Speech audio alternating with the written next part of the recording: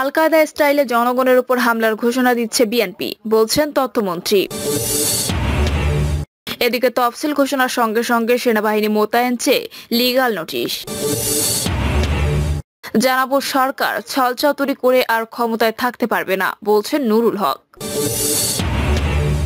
জানিয়ে দিব এমপিদের সঙ্গে আওয়ামী লীগ বিরোধ তিন আসনে, বেকায়দায় বিএনপি। এবং সর্বশেষ জানাব জাতিসংঘের সভায় বাংলাদেশের মানবাধিকার পর্যালোচনা। শুনছিলেন সংবাদ শিরোনাম, এবারে বিস্তারিত। আল কায়দা ইসরায়েলে জনগণের উপর হামলার ঘোষণা দিচ্ছে বিএনপি। বলছেন তথ্যমন্ত্রী। তথ্য সম্প্রচার মন্ত্রী এবং আওয়ামী লীগের যুগ্ম সাধারণ সম্পাদক ডক্টর হাসান মাহমুদ বলেছেন আল কায়দা স্টাইলে জনগণের উপর হামলা পরিচালনার ঘোষণা দিচ্ছে বিএনপি।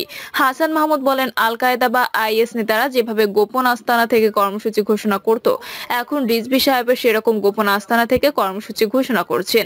তিনি আরও বলেন, অনেকেই প্রশ্ন রেখেছেন যে রিজবি সাহেব গোপন আস্তানা থেকে কর্মসূচি অর্থাৎ পেট্রোল বোমা নিক্ষেপের ঘোষণা দিচ্ছে। প্রতিদিন অনেক গাড়ি ঘোড়াতে আগুন দেওয়া হচ্ছে, তারপরও তাকে কেন গ্রেপ্তার করা হচ্ছে না? যারা মানুষ ও গাড়ি ঘোড়ার উপর পেট্রোল বোমা নিক্ষেপ করছে, হামলা পরিচালনা করছে, অনেকে দাবি তুলেছে পুলিশ কেন দেখা মাত্র তাদের গুলি করে না।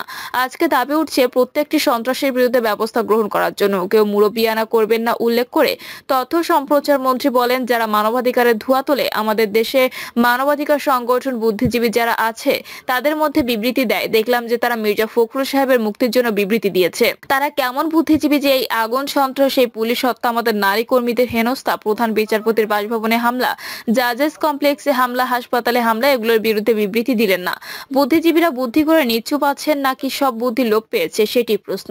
আমি শ্রমিক ভাইদের প্রতি অনুরোধ জানাব, আপনারা নিজের প্রতিষ্ঠান যেটিতে কাজ করেন সেটিতে হামলা বা ভাঙচুর করা মানে নিজের গায়ে আঘাত দেওয়া, কারণ সেই প্রতিষ্ঠান আপনাকে এবং দেশকে বাঁচিয়ে রেখেছে। তাই কারও প্ররোচনায় আপনারা প্ররোচিত হবেন না। মন্ত্রী বলেন, যারা হামলার প্ররোচনা দেয়, তারা নিজেদের শ্রমিক সংগঠনের নেতা হিসেবে পরিচয় দেয়। কিন্তু ওরা কেউ শ্রমিক না, ওদের ঢাকা শহরে দামি ফ্ল্যাট আছে, গাড়ি আছে। ওরা মিটিং এ যখন যায়, তখন রিক্সায় যায়, গাড়ি দূরে রেখে যায়। খবর আছে আমাদের কাছে।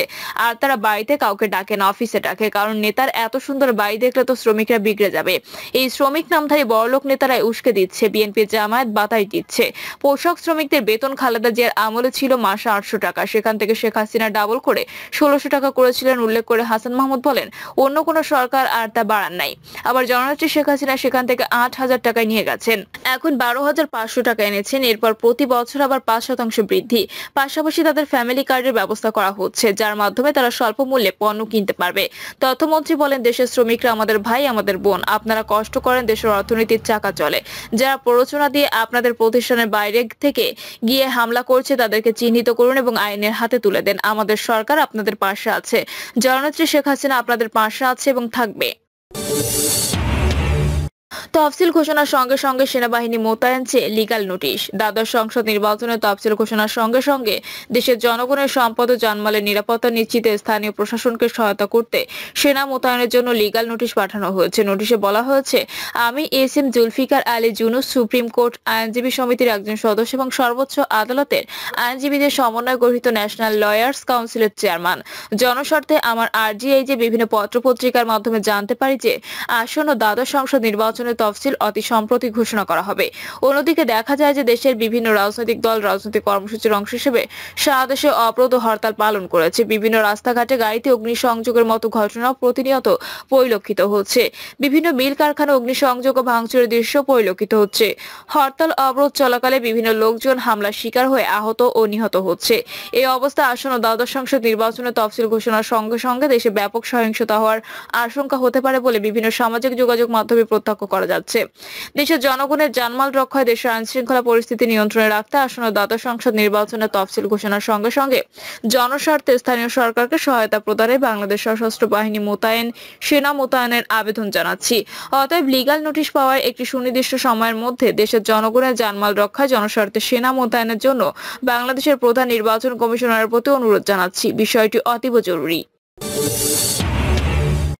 সরকার ছলচাতুরি করে আর ক্ষমতায় থাকতে পারবে না বলছেন নুরুল হক। বর্তমান সরকারের পায়ের নিচে মাটি সরে গেছে বলে মন্তব্য করেছেন গণ অধিকার পরিষদের সভাপতি নুরুল হক। তিনি বলেছেন, সরকার ছলচাতুরি করে আর ক্ষমতায় থাকতে পারবে না। অবিলম্বে রাজনৈতিক সমঝোতা করে নির্দলীয় সরকারের হাতে ক্ষমতা হস্তান্তর করার আহ্বান জানিয়েছেন তিনি। মিছিল শেষে বিজয়নগর পানির ট্যাঙ্ক এলাকায় সংক্ষিপ্ত সমাবেশ করে গণ অধিকার পরিষদ।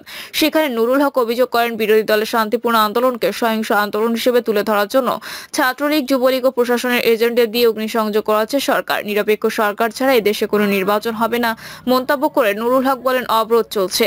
আমাদের দাবি আদায় না হওয়া পর্যন্ত ধারাবাহিকভাবে হরতাল অবরোধ চলবে। প্রয়োজনে অসহযোগ আন্দোলন আমরা ঘোষণা করব। দেশের অস্তিত্ব রক্ষায় সরকারের সঙ্গে আমরা কোনো আপোষ করব না। গণ অধিকার পরিষদের সাধারণ সম্পাদক মোহাম্মদ রাশেদ খান বলেন, আন্দোলন থামাতে সরকার বিরোধী দলের শীর্ষ নেতাদের গ্রেপ্তার করছে। রাতের অন্ধকারে তুলে নিয়ে যাচ্ছে আমাদের যে কোনো সময় গ্রেপ্তার করতে পারে। হামলা মামলা শিকার কিংবা গ্রেপ্তার হলেও আন্দোলন থামবে না এমপিদের সঙ্গে আওয়ামী লীগের বিরোধ তিন আসনে, বেকায়দায় বিএনপি। আওয়ামী লীগের যুগ্ম সাধারণ সম্পাদক মাহবুবুল আলম হানিফ ও জাসাদ সভাপতি হাসানুল হক ইনুর জেলা কুষ্টিয়া। এখানকার দুটি সংসদীয় আসন থেকে এমপি নির্বাচিত হয়েছেন ক্ষমতাসীন জোটের দুই হেভিওয়েট নেতা। রাজনৈতিক দিক থেকে গুরুত্বপূর্ণ এ জেলায় বর্তমান এমপিদের সঙ্গে স্থানীয় আওয়ামী লীগের সম্পর্ক ভালো যাচ্ছে না। তৃণমূলের সঙ্গে বিবাদ রয়েছে তাদের। ইউনিয়ন থেকে ওয়ার্ড পর্যায়ে ছড়িয়ে পড়েছে দ্বন্দ্ব। নির্বাচন সামনে রেখে গৃহদাহ আরও বাড়ছে। বর্তমান এমপিদের বিপক্ষে মনোনয়ন পেতে মাঠে নেমেছে একাধিক নেতা। জেলা আওয়ামী লীগের সাধারণ সম্পাদক আজগর আলী বলেন, বড় দলে মত পার্থক্য থাকতেই পারে। তবে নৌকার সঙ্গে কারও কোনো মত পার্থক্য নেই। যিনি নৌকায় প্রার্থী হবেন, আওয়ামী লীগের নেতাকর্মীরা তার সঙ্গে থাকবেন। অপরদিকে একসময় শক্ত ঘাঁটি কুষ্টিয়ায় তিনটি আসনে অভ্যন্তরীণ কোন্দলে জর্জরিত বিএনপি। মনোনয়ন নিয়ে রয়েছে বিরোধ। নেতাদের অভিযোগ, দলের মধ্যে একাধিক ধারা, শীর্ষ নেতাদের মধ্যে কোন্দল ও যোগ্যদের মূল্যায়ন না হয় সাংগঠনিকভাবে দুর্বল হয়ে পড়েছে বিএনপি। তবে নির্বাচন নিয়ে এমন একটা ভাবছে না বিএনপি নেতাকর্মীরা। নিরপেক্ষ সরকার ছাড়া তারা নির্বাচনে যাবে না। যদি নির্বাচনের পরিবেশ হয়, তবে কেন্দ্রীয় হাইকমান্ডের নির্দেশনা মোতাবেক নির্বাচনী মাঠে নামবেন তারা। এ নিয়ে ভেতরে ভেতরে প্রস্তুতি চলছে তাদের। নির্বাচন প্রশ্নে জেলার একটি আসনে জটিলতা না থাকলেও বাকি তিনটি আসনে মনোনয়ন পেতে বিএনপির একাধিক নেতা তৎপরতা চালাচ্ছেন তবে জেলা বিএনপির সাধারণ সম্পাদক সৌরভউদ্দিন বলেন, দলের মধ্যে গ্রুপিং থাকলেও মনোনয়ন নেই, কোনো বিরোধ নেই। বিএনপি নির্বাচনে অংশ নিলে দল যাকে মনোনয়ন দেবে, তার পক্ষে নেতাকর্মীরা মাঠে থাকবে বলে উল্লেখ করেন তিনি। কুষ্টিয়া এক, এ আসনে বহুভাগে বিভক্ত ক্ষমতাসীন দল আওয়ামী লীগ। দুই সালে নির্বাচনের পর থেকে দলের মধ্যে বাড়তে থাকে বিভাজন। দ্বাদশ জাতীয় সংসদ নির্বাচন সামনে রেখে এখানে গৃহদাহ আরও বাড়ছে। চার গ্রুপে বিভক্ত আওয়ামী লীগ মনোনয়ন প্রত্যাশীর তালিকা বেশ দীর্ঘ। অপরদিকে উপজেলা স্বাধীনতা পরবর্তী সময় থেকে একক দাপট নিয়ে চলছে বিএনপি। আওয়ামী লীগের যুগ্ম সাধারণ সম্পাদক মাহবুবুল আলম হানিফ জাসদ সভাপতি হাসানুল হক ইনু ও জাতীয় পার্টির কেন্দ্রীয় মহাসচিব আহসান হাবিব লিঙ্কনের মতো হেভিওয়েট নেতাই আসনের বাসিন্দা। এছাড়া জামায়াতেরও ভোট ব্যাংক রয়েছে আসনে। গত নির্বাচনে মহাজোটে থাকা আহসানুল হক ইনুর জন্য আসনটি ছেড়ে দিয়ে কুষ্টিয়া তিন আসনে নির্বাচন করে এমপি হন হানিফ। পরে ইনু নৌকা প্রতীকে নির্বাচন করে এমপি হন। এ আসনে এবারও নৌকায় মনোনয়ন চাইছেন ইনু। তিনি ছাড়াও নৌকার মনোনয়ন প্রত্যাশীদের হলেন উপজেলা আওয়ামী লীগের সাধারণ সম্পাদক একাধিকবার নির্বাচিত উপজেলা চেয়ারম্যান কামারুল আরেফিন। চিকিৎসক নেতা কুষ্টিয়া মেডিকেল কলেজের প্রতিষ্ঠাকালীন অধ্যক্ষ ও বিএমএ কুষ্টিয়ার সাবেক সহসভাপতি অধ্যাপক ডক্টর ইফতেখার মাহমুদ এবং কুষ্টিয়া নাগরিক সমিতি কমিটি ও বিএমএ সভাপতি অধ্যাপক ডক্টর এস এম মুস্তানজিন। ধানের শীষের মনোনয়ন প্রত্যাশী হলেন জেলা বিএনপির সাবেক সভাপতি ও সাবেক এমপি অধ্যাপক শহীদুল ইসলাম। জাতীয় নির্বাহী কমিটির দুই সদস্য ব্যারিস্টার রাকিব রৌফ চৌধুরী এবং ফরিদা ইয়াসমিন। জাতীয় পার্টির কেন্দ্রীয় মহাসচিব আহসান হাবিব লিঙ্কন এবং জাতীয় পার্টি ডক্টর শহীদুল ইসলাম ফারুকি প্রার্থী হতে চান। জামাত ইসলামের মনোনয়ন প্রত্যাশী সাবেক উপজেলা চেয়ারম্যান ও জেলা জামায়াতের নায়েবে আমির আব্দুল গফুর। কুষ্টিয়া তিন, বর্তমানে এই আসনে এমপি আওয়ামী লীগের যুগ্ম সাধারণ সম্পাদক মাহবুবুল আলম হানিফ।